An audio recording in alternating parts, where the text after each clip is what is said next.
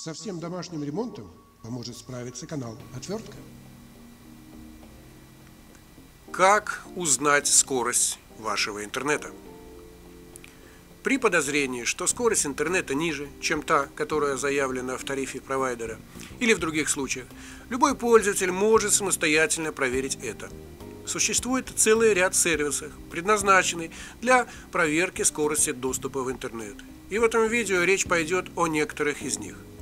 Кроме этого, скорость интернета можно приблизительно определить и без этих сервисов, а, например, с помощью простого торрента.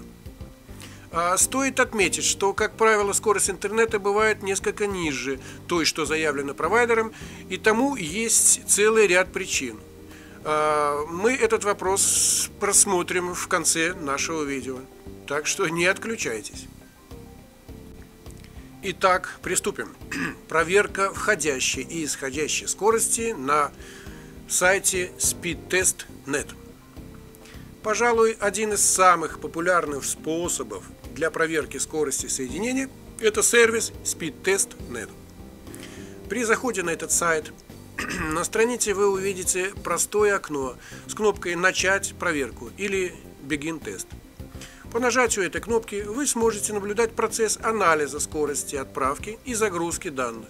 Стоит отметить, что провайдеры указывают, указывая скорость по тарифу, как правило, имеют в виду скорость именно загрузки данных из интернета или э, download speed то есть ту скорость, с которой вы можете скачивать что-либо из интернета. Скорость отправки может отличаться в меньшую сторону, и в большинстве случаев это не страшно. И это, в принципе, зависит от а, канала. Канал может быть синхронным, то есть передача и прием – это одинаковая скорость, и асинхронный, то есть получение файлов мы получаем на всю катушку скорость, а передача немножко меньше может быть даже в половину или даже больше. Так что в зависимости, какой канал у нас применяется. В большинстве применяется асинхронный канал с меньшей скоростью передачи. Кроме этого, прежде чем приступить непосредственно к проверке скорости а, на SpeedTest.net, вы можете выбрать на карте сервер, который будет использоваться, как правило, а, если вы выбираете сервер, который находится ближе к вам или обслуживается тем же провайдером, а, что и вы, э, в результате получается более высокая и близкая к заявленной скорости. Это все правильно. Например, у меня провайдер находится в так сказать, и после проверки я получаю более-менее правильные свои 100 мегабит. 100 мегабит у меня получается примерно 94 мегабита. Это по тесту Speed Test.net. Очень довольно-таки нормально. Так что выбираем те города, где находится центральный сервер вашего провайдера. Стоит отметить, что если при проверке вы подключены по сети э, к сети по Wi-Fi с использованием роутера, то, скорее всего, скорость окажется ниже той, которая была, получилась бы при прямом кабельном подключении э, к сетевой карте компьютера. Так что обращаю ваше внимание. Приступаем к рассмотрению следующего сервиса. Он называется 2ip.ru. На сайте 2ip.ru вы сможете найти множество различных сервисов, так или иначе связанных с интернетом, в том числе и возможность узнать его скорость. Для этого на главной странице сайта на вкладке «Тесты» выберите скорость интернет-соединения. Укажите единицы измерения. По умолчанию стоят килобит в секунду, но в большинстве случаев удобнее использовать значение мегабит в секунду, так как именно в мегабитах в секунду указывают скорость интернет-провайдера.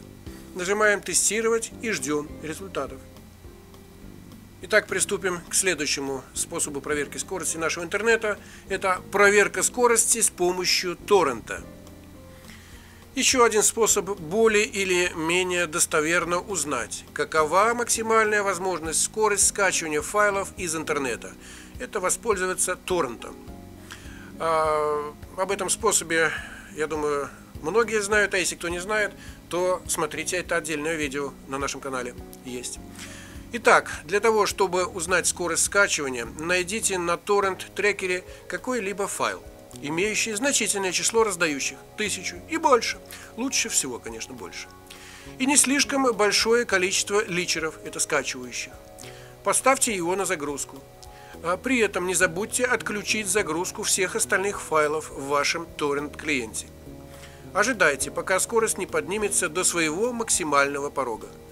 Что произойдет не сразу, а минут через 2-5 минут где-то вот в этом районе. Это и есть ваша приближительная скорость, с которой вы можете скачивать что-либо из интернета.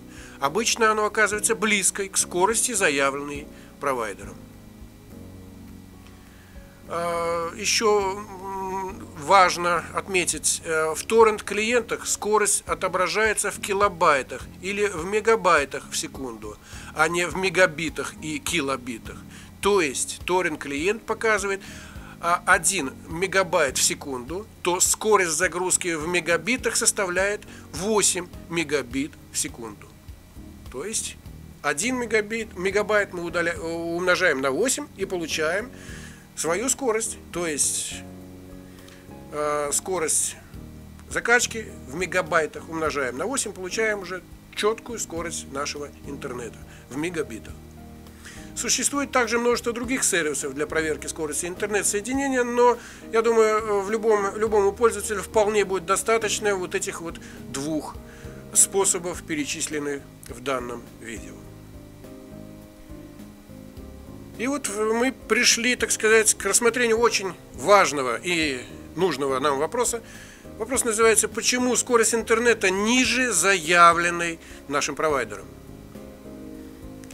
А, скорее всего, вы обращали, обращаете внимание на то, что в любых тарифах практически любого провайдера заявлено, что скорость интернета составит до X мегабит в секунду.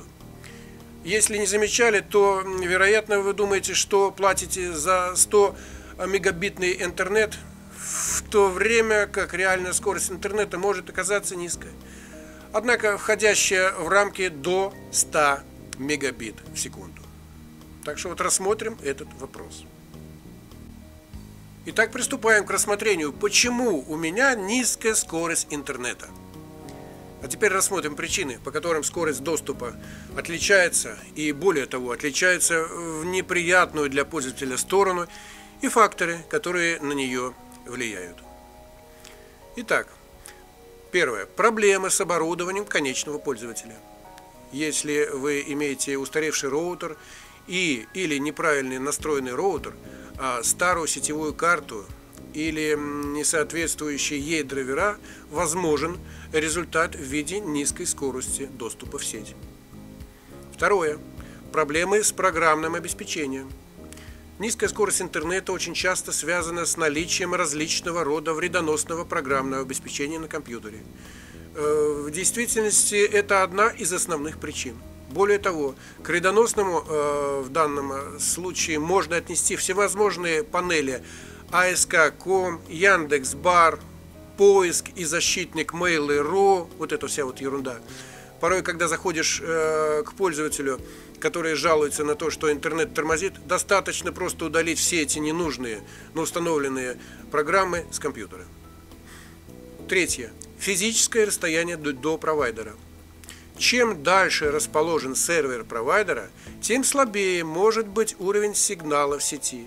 Чем чаще по сети должны проходить различного рода пакеты с корректирующей информацией, что в результате ведет к снижению скорости.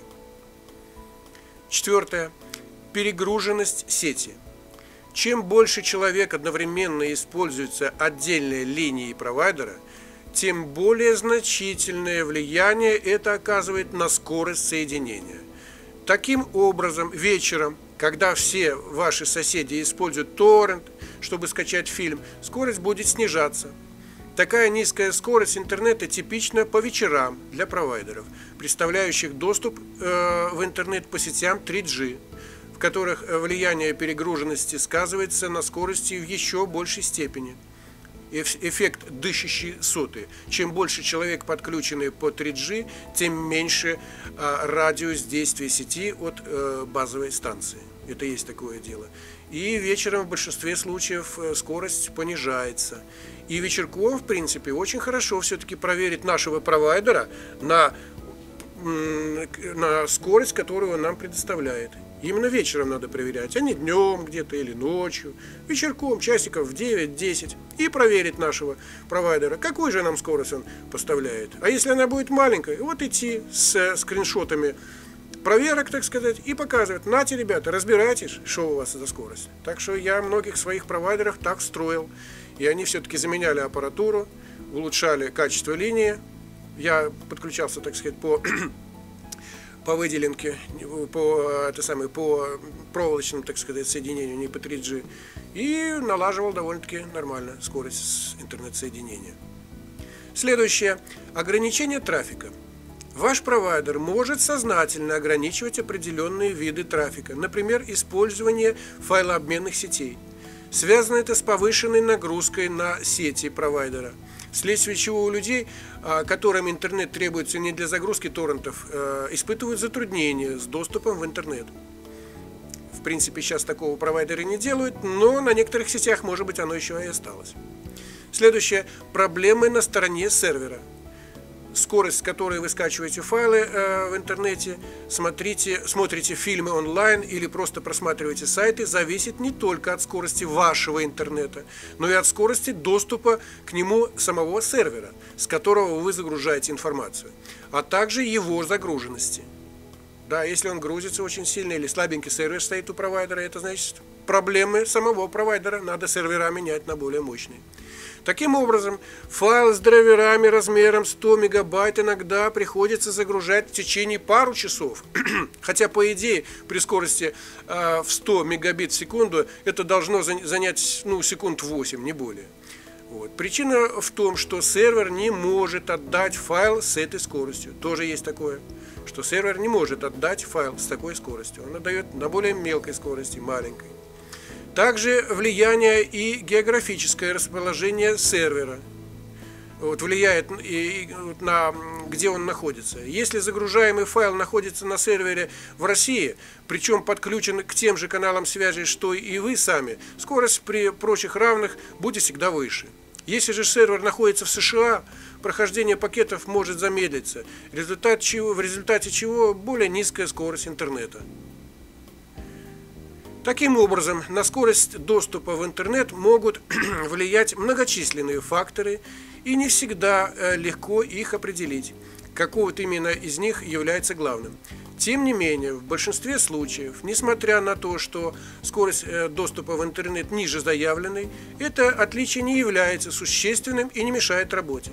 В тех же случаях, когда отличие в несколько раз – следует поискать, э, когда вот отличия, вот, э, отличия отличаются в большее количество раз, то следует поискать проблемы в программном и аппаратном обеспечении собственного компьютера, а также обратиться за разъяснениями к провайдеру, если на своей стороне проблемы, обнаружен, проблемы обнаружены не были. Итак, мы более-менее разобрались с факторами, которые влияют на скорость нашего интернета соединения, как узнать скорость нашего интернет-соединения и как вообще воевать с нашими провайдерами по скорости нашего интернет-соединения. А пока что пожелаем нам удачи, всем успехов и большое спасибо. Со всем домашним ремонтом поможет справиться канал «Отвертка».